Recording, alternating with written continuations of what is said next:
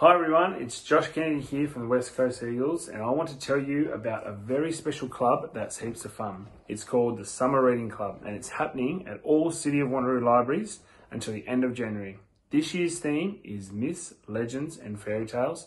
You're all legends at something, why not be a reading legend? Over summer, you can read anywhere, anytime. I used to love books about surfing, big ocean creatures, and big birds. But these days, I have the best time sharing lots of great books with my kids. This is my favourite. Where is the Hungry Caterpillar? Favourite when I was a kid. My kids absolutely love this. We love reading this all the time. Any reading you do helps you become a reading legend. Like when you are learning a new game, flicking through magazines, checking out recipes. I love reading recipes because I really love eating, especially Vietnamese food. This club is great because it's free to join and there are fabulous activities happening all over the holidays. Every time you visit the library, there'll be fun prizes to collect and also to win. You will be a real reading legend if you join the Summer Reading Club. Congrats if you've already signed up. You are a true reading legend. Want to know more? Have a look online at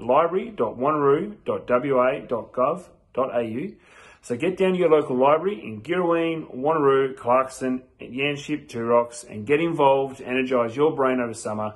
Don't forget to have fun exploring outside too. Thanks for watching, legends. See you soon.